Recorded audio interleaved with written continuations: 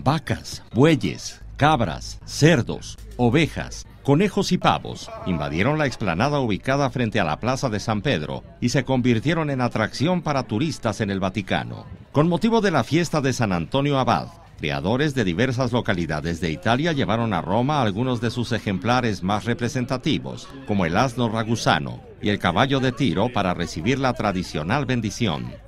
Desde las primeras horas, varias tiendas de campaña colocadas junto a San Pedro se convirtieron en una granja a cielo abierto y acogieron a los entusiastas visitantes, quienes pudieron admirar, sacarse fotos y hasta acariciar a los animales.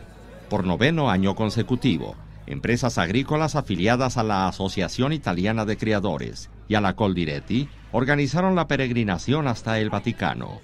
El cardenal Angelo Comastri, presidente de la fábrica de San Pedro, fue el encargado de dar la bendición.